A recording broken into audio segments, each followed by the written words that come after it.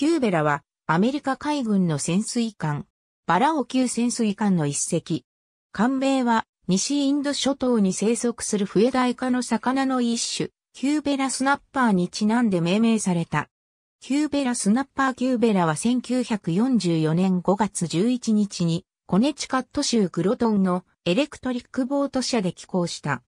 1945年6月17日に J・タベール夫人によって命名、進水し、1945年12月19日に艦長 RW ペインジュニア少佐の指揮下就役する。就役後、大西洋艦隊に配属されたキューベラはニューロンドン沖で整調を行う。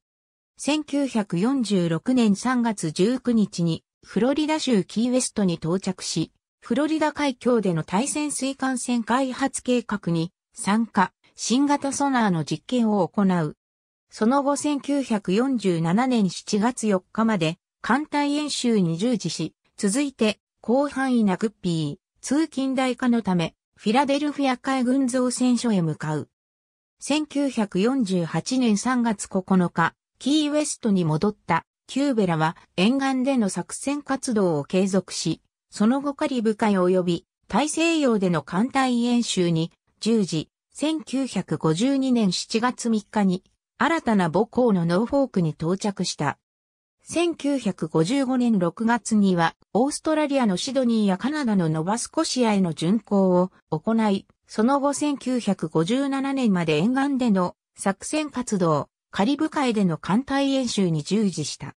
1959年から60年までアルファ任務部隊に配属され、対潜水艦船技術開発のための一連の実験に参加した。部隊はノバスコシアからバミューダまでの西大西洋海域を巡航した。